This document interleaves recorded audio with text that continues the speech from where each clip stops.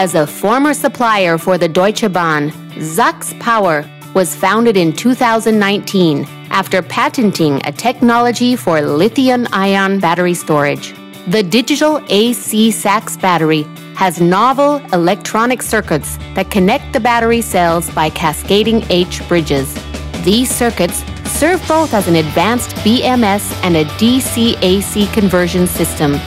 The advanced BMS allows more usable capacity and lifetime thanks to optimized cell balancing, the selection of the specific cells to be charged or discharged, and the capability of excluding any defective cell. The same electronic circuits convert from DC to AC without any additional power electronics by dynamically assembling cells to form a sine wave. Solar storage units are made up of 120 cells with a nominal capacity of 15 ampere hours and a nominal voltage of 3.2 volts each for a total capacity of 5.8 kilowatt hours.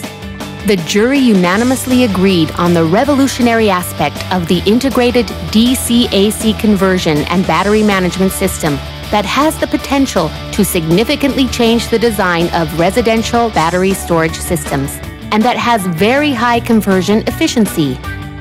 They were also impressed by the potential for high impact in the automotive sector with increased safety and reduced costs in e mobility as no inverter is necessary.